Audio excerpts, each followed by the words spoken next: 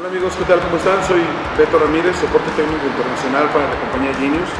Y les quiero hablar ahora de esta línea de amplificadores que es nuestra línea intermedia. Es un GTM 80.4, el no por cual ser intermedio no significa que es muy poderoso, muy pequeño y es un amplificador muy frío, trabaja perfectamente bien, aunque su chasis es pequeño, disipa perfectamente la temperatura y los invito a que lo podamos ver estructuralmente. Una de las principales características que tiene el amplificador GTM .80.4D es que es un amplificador clase D en sus cuatro canales y sobre todo algo que me gusta mucho es la protección que tiene también en los plásticos para que no se dañen los RCAs o los potenciómetros o en este caso también los conectores de corriente y los conectores de salida para que no se zafen. El amplificador como pueden ver tiene conectores de calibre 8 lo cual significa que la energía que sale es muy poca la relación que se convierte en calor para que se convierta en música.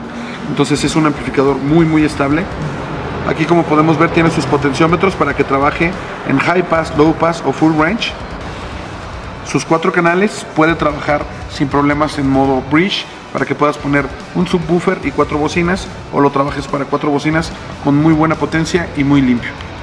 Si tú estás buscando mucha potencia a un precio bastante accesible, este es el amplificador que tú necesitas. Te invitamos que nos sigas por favor en nuestras redes sociales, ya sea YouTube, Instagram o Facebook o en nuestra página web geniusaudio.com.